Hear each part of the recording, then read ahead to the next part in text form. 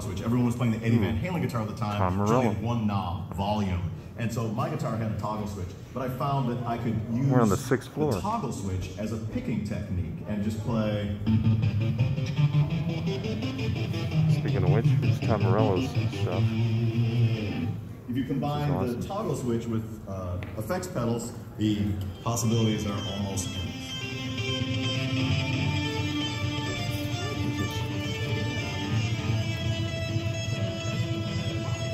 Daddy, the wall is made out of Eddie uh, Van Halen.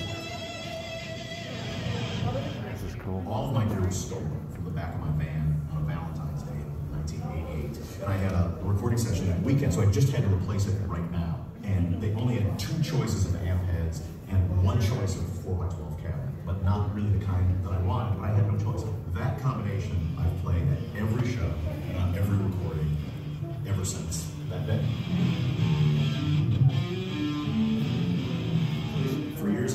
tone I never found.